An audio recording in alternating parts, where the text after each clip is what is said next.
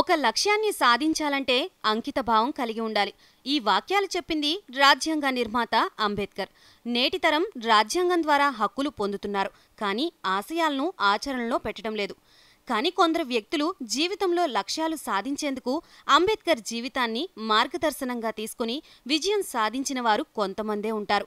అలాంటి వారిలో ఒకరు అనంతపురం జిల్లా కలెక్టర్ గంధం చంద్రుడు. కర్నూలు జిల్లాలోని ఒక మారుమూల గ్రామం కొలిమిగుట్ల మండలం కోటపాడు గ్రామంలో ఒక పేద కుటుంబంలో జన్మించారు. చిన్ననాటి నుంచే గంధం చంద్రుడు ఎంతో కష్టపడి చదివారు.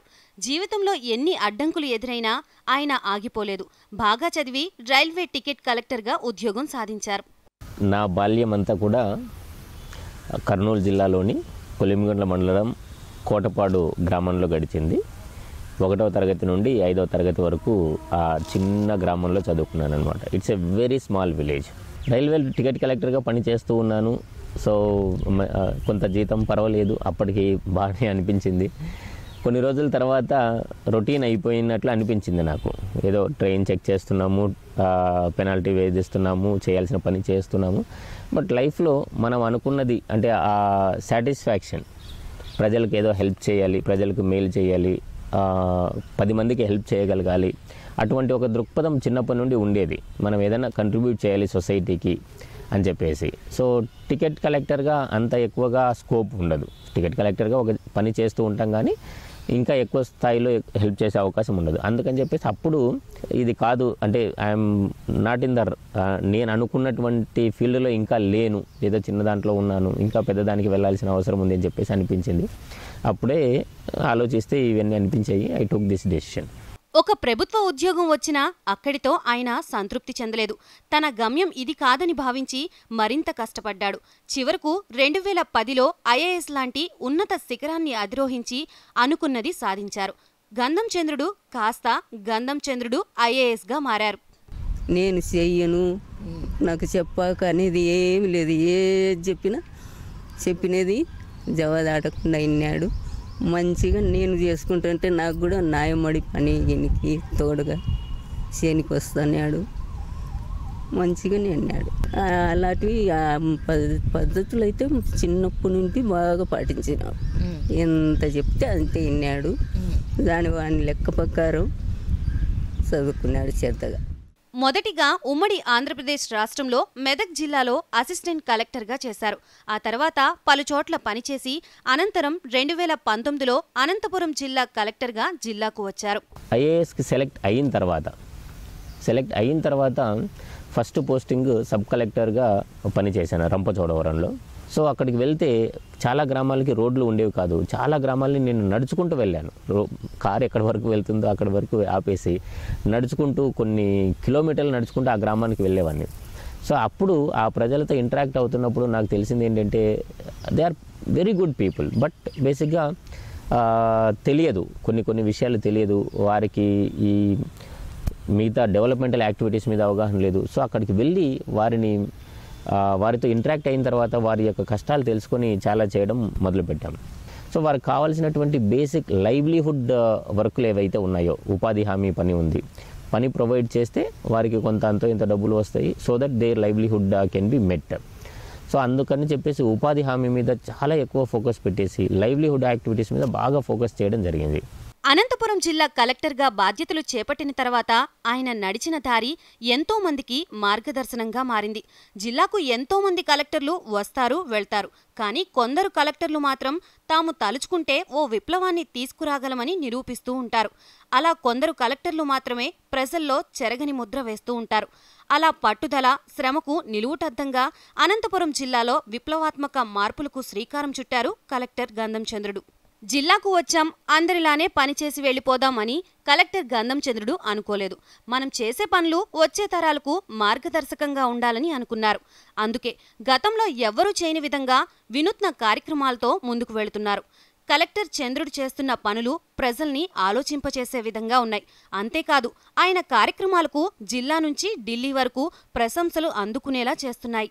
ఇప్పుడు గవర్నమెంట్ చేస్తున్నటువంటి పనులనే కరెక్ట్గా చేస్తే అదే చాలా సాటిస్ఫైయింగ్గా ఉంది. ఇంతసేపు నేను చెప్పినట్టుగా మనబడి నాడు నేడు అన్న స్కీమ్లో అది స్టూడెంట్స్కి చాలా ఉపయోగపడుతుంది. ఎస్పెషల్లీ పేద పిల్లలకి.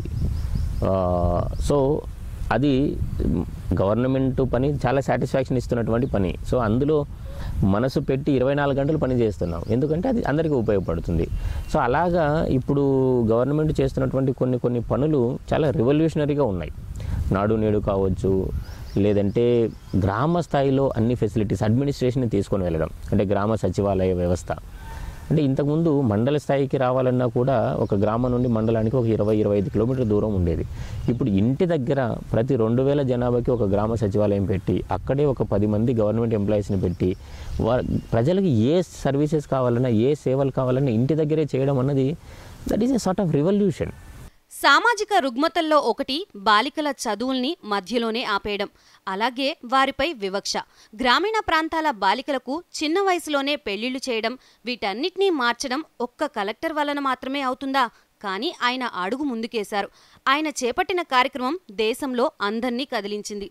అంతర్జాతీయ మహిళా దినోత్సవం సందర్భంగా బాలికే భవిష్యత్తు అన్న వినూత్నమైన కార్యక్రమానికి శ్రీకారం చుట్టారు. కలెక్టర్ చేసిన ఈ పని ఎన్నో రాష్ట్రాల్లో ప్రజా ప్రతినిధుల్ని ఆలోచింపచేశాయి.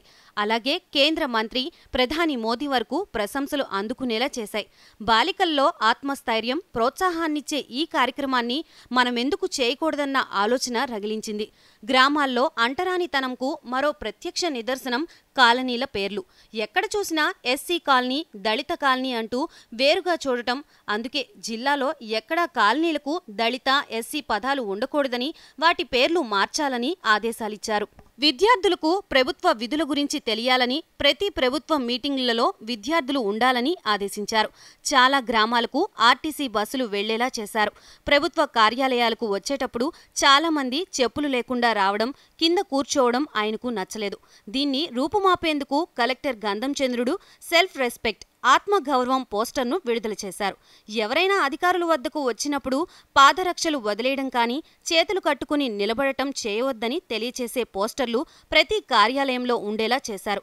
అందరూ ధైర్యంగా స్వేచ్ఛగా ప్రభుత్వ కార్యాలయాలకు వచ్చేలా చేశారు. గడిచిన ఒకటిన్నర రెండు సంవత్సరాల కాలంలో ఈ మనబడి నాడు నేడు అన్న స్కీమ్ ద్వారా ప్రతి స్కూలు దాదాపుగా ఉన్నటువంటి ప్రతి స్కూల్ని నాడు నేడు కింద తీసుకొని ఒక్కొక్క స్కూల్కి యావరేజ్గా ట్వంటీ ఫైవ్ ల్యాక్స్ డబ్బులు ఖర్చు పెట్టేసి తొమ్మిది రకాలైనటువంటి ఇన్ఫ్రాస్ట్రక్చర్ ఫెసిలిటీస్ అన్నీ పెడుతున్నారు. అలాగే ఇంగ్లీష్ మీడియం ఇంట్రడ్యూస్ చేశారు. Uniform and so many other facilities ఇస్తున్నారు. సో ఇవన్నీ కూడా అల్టిమేట్గా ఎవరికి ఉపయోగపడుతున్నాయి? ప్రజలందరికీ ఉపయోగపడుతున్నాయి. అందులోనే అంబేద్కర్ గారి చెప్పినటువంటి పాయింట్ ఉంది. సో అటువంటి ఒక అట్లాంటి మంచి స్కీమ్స్ పెట్టినప్పుడు నాలాంటి అధికారులు కూడా విరగబడి పని చేస్తారు. ఎందుకంటే ఆ ఫేస్ చేసి వచ్చాం కాబట్టి నాడు నేడు ఉంది అంటే ఇది ప్రజలందరికీ ఉపయోగపడుతుంది స్టూడెంట్స్కి అందరికీ ఉపయోగపడుతుంది. ఇందులో కమ్యూనిటీ ఇన్వాల్వ్మెంట్ ఉంది. సో దీన్ని మనం ఖచ్చితంగా బాగా చేయాలి. ప్ర ప్రజలందరికీ తీసుకొని వెళ్ళాలి అన్న ఒక కసి తపన ఉంటుంది. అందుకే బాగా పని చేస్తున్నాం. So it is sort of revolution that is happening uh, in the present government. అందులోనే మీరు అన్నటువంటి సామాజిక అజెండా ఆర్థిక అజెండా రెండూ ఉన్నాయి. ఇలా భిన్నమైన కార్యక్రమాలతో అందరితో ప్రశంసలు అందుకుంటూ జిల్లా కలెక్టర్గా ఎన్నో విప్లవాత్మక కార్యక్రమాలకు శ్రీకారం చుట్టారు. జిల్లాలో చెరిగిపోని ముద్ర వేసిన కలెక్టర్ గంధం చంద్రుడు నీకోసం జీవిస్తే నీలోనే నిలిచిపోతావు.